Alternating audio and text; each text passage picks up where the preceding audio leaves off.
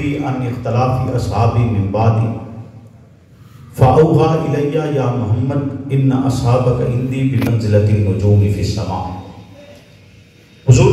अपने रब से सवाल किया, अपने सहाबा के इख्तलाफ के मुतलिक फ़ाऊहा इलैया या मोहम्मद।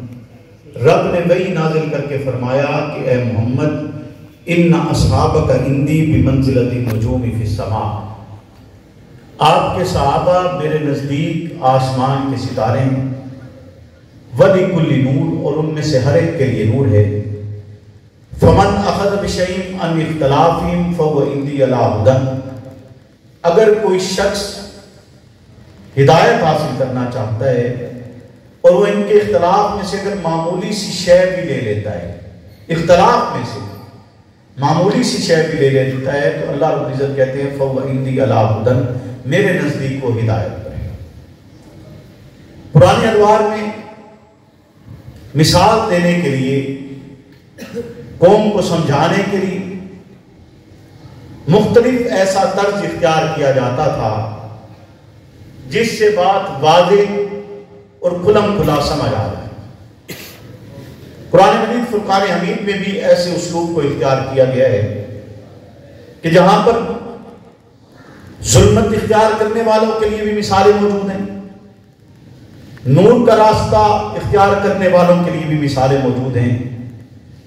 फसाद फिल अर्ज़ की तशरी भी की गई है और इस उम्मत की राहबरी और हिदायत के लिए काम करने वालों की मिसालें भी पेश की गई।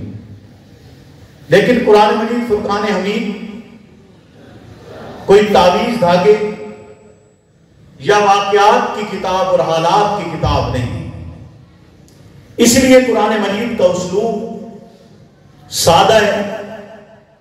उसमें ऐसा फनी और इल्मी तर्क इख्तियार नहीं किया गया कि जिससे बात को बड़े लंबे चौड़े तरीके से घुमा फिरा कर ज़िक्र किया जाए, बल्कि वादे वादे अल्फाज में वहाँ पर नसीहतें भी की गई हैं, डराया भी गया है। इसी तरह पैगंबर सलाम की ज़िंदगी और आपका तर्ज अमल चूँकि आप कुरान मजीद, फुरकान हमीद की तशरी फरमाते, उसको उम्मत तक पहुँचाने का असल ज़रिया है तो आपने उसी तर्ज को इख्तियार करते हुए अपने इन इतात गुजारों की बात को ज़िक्र करते हुए इर्शाद फरमाया। उस जमाने की एक मिसाल देते हुए और आज के दौर में उसको इस्तेमाल किया जाता है। लेकिन इस्तेमाल वो करते हैं जो बहरी सफ़र पर होते हैं। और उस जमाने में भी बहरी सफ़र के अंदाज से इसकी मिसाल को पेश किया गया कि साहबा सितारों की मानी गई, जिसकी भी इताद करो, कामयाबी तुम्हारे मुकदर में लिख दी जाएगी। उसूल यह था कि बहरी सफ़र पर मौजूद अफराद अगर रास्ता भटक जाता तो वो रहनुमाई सितारों से हासिल किया करते उनको ये फन सिखाया जाता है कि मशरक की तरफ़ सितारा किस शक्ल और किस अंदाज का है, जुनूब की तरफ़ सितारा किस शक्ल और किस अंदाज का है, शुमाल का किस तरह का है मगरिब का किस अंदाज का है? किस तरफ़ और किस रुख पर चलते हुए आप सीधे रास्ते पर गामजन हो जाएँगे तो पैगंबर सलाम ने भटके हुए लोगों को हिदायत का तरीक समझाते हुए, अपनी मुकद्दस जमात को आसमान पर चमकते हुए रोशन सितारों से मिसाल दी कि ये वो मुकद्दस तबका कि अगर आप राह भटकते हैं तो भटकी हुई राह को सही रास्ते पर गामजन करने के लिए आप इनमें से किसी एक सितारे की इब्तदा करते हैं? वली कुल्ली नूर। हर एक नूर है, हर एक हाथी है, हर एक माती है, हर एक रोशन है, हर एक पैगंबर सलाम के तरीके पर है। मुमकिन नहीं है कि आप इनकी इतात करें और गुमराह हो जाए? आप इनकी इतात करें और जलालत के रास्ते पर हों। आप इनकी इतात करें और गजब शुदा अफराद के रास्ते पर हों। नहीं, जब इस मुकदस जमात की इतात की जाती है तो फिर रास्ता अनंत वाले है। जब इस मुकदस जमात की इतात की जाती है तो रास्ता सिरात मुस्तकीम कहे। जब इस मुकदस जमात की इतात की जाती है तो रास्ता मुफलिहून कहे, जब इस मुकदस जमात की इतात की जाती है तो रास्ता हिदायत वाले है। आप कतन गुमराह नहीं हो सकते। जब ये अल्फाज पैगंबर सलाम को इलाही की शक्ल में बतलाए गए तो पैगंबर ने अगला तुम्हें तदे तुम मेरे सहाबा सितारों की मानी दे किसी एक की भी इत्तदा करोगे, कामयाबी आपके मुकद्दर में निकली लेकिन बेरी सफ़र इख्तियार करने वाले जहाँ भटकने की सूरत में आपने रहनुमाई सिदारों से हासिल करनी है, वहीं पर ज़रूरी यह है कि बेरी सफ़र इख्तियार करने के लिए कश्ती भी ज़रूर मौजूद हो। बगैर कश्ती के तो सफ़र नहीं होता बैरी बोलिए ना। ऐसे ही है ना। और आप कश्ती में हो और तूफ़ान घेर दे तो रात कभी भटका जाता है। सीधे सीधे रास्ते पर चल रहे हो तो रात नहीं भटका जाएगा। कश्ती का होना भी। बोलिए ना, कश्ती का होना भी ज़रूरी है ना? बगैर कश्ती के तो आप मेरी सफ़र इख्तियार नहीं कर सकते। बोलो ना भाई, समंदर के रास्ते जा सकते हो कि नहीं जा सकते? दरिया क्रॉस कर सकते हैं, आप कि नहीं कर सकते? आप पुल बना वाला को आते अगर आपने सफ़र इख्तियार करना है बेरी तो आपको कश्ती की ज़रूरत ज़रूर है। भले वो बेरी जहाज़ हो, जितना बड़ा हो। लेकिन पानी पर चलने वाला ऐसे क्या ना? इसी मिसाल को वादे करते कि एक तरफ़ अपनी मुकदस जमात पैगंबर ने सितारों से मिसाल दी। दूसरी तरफ़ अपने घराने अपने आले कश्ती नू की मिसाल दी। कि इनमें बैठकर आप सीधे रास्ते पर गामजन हो सकते हैं।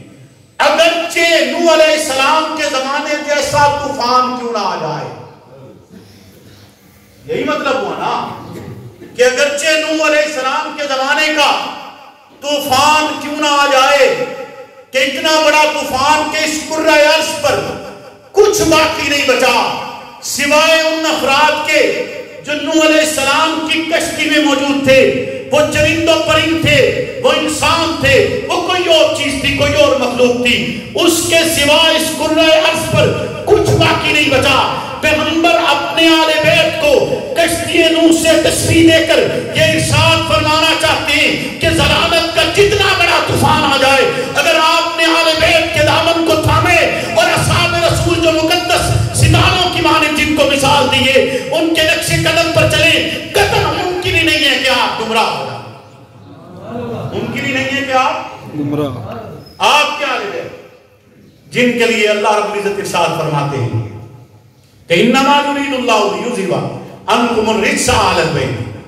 क्या आपके आले बैत। से? मामूली सा जो अगर कोई दिल में ख्याल भी पैदा हुआ है उसको भी रब ने दूर कर दिया है। उसको भी रब ने खत्म कर दिया इसके पीछे भी एक तस्वीर होगी इस आयत मुबारक का ज़िक्र करने से कबल आपकी अजवाज मुताहरात ने आपसे नाम रफ्ते का मुतालबा किया था। आपसे अर्ज़ की थी कि अल्लाह के हबीब इस थोड़े से माल में हमारा गुजर बसर नहीं होता है। लिहाजा आप कुछ अगर इजाफा फरमा दीजिए। आपकी बारगाह में उन्होंने ये सवाल किया, खालिद के कायनात ने इरशाद फरमाया कि नहीं आपको यह सवाल करने की इजाज़त नहीं है, क्योंकि आप कोई आम खवातीन नहीं है। आप पैगंबर का आलम है, आप नबुवत की इज़्ज़त है, आप नबुवत की दस्तार है, आप नबुवत का घराना है। नबुवत का घराना दुनिया के लिए कदम, मामूली सा सवाल भी नहीं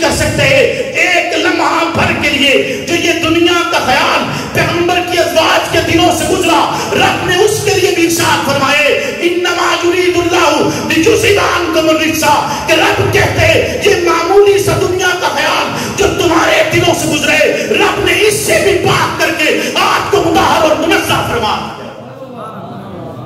आपको मुदाहर और मुनज़्ज़ा फरमा तो ये वो अजीम खानदान है, जिस खानदान को पैगंबर कश्तियनों से मिसाल देते फिर आप में साथ ही अपने दामाद को अपनी बेटी को भी अपनी चादर में लेकर, अपने आले बैत करार दिया। उन दो लखते जिगर को भी आले बैत करार दिया और न सिर्फ़ करार दिया बल्कि आपने अगली अगला बयान भी फरमाया है कि जन्नती खवातीन की सरदार फातिमा सहरा होगी, जन्नती नौजवानों के सरदार हसन हुसैन होंगे।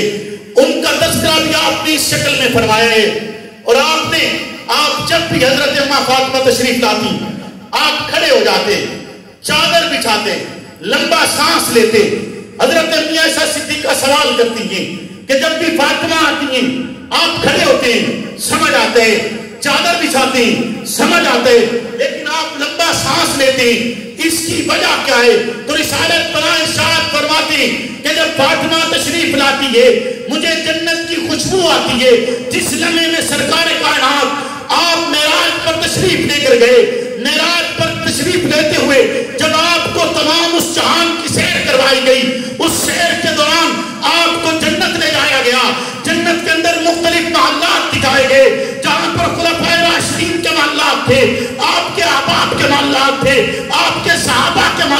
थे, आपकी अजवाज के महल्लात थे, वहीं पर आपकी सोजाए मोहतरमा हज़रत खदीजतुल कुबरा का महल था। आप उस महल में दाखिल होते हैं। हज़रत जिबरील अमीन सेब के एक दरख्त से एक सेब उतार कर आपको देती और कहती है कि इस सेब को खा लीजिए। इससे अल्लाह रब्बुल इज़्ज़त आपको एक औलाद अता करेगा। फिर पैगंबर सलाम को एक औलाद अता होती है। जिस लम्हे में वो बेटी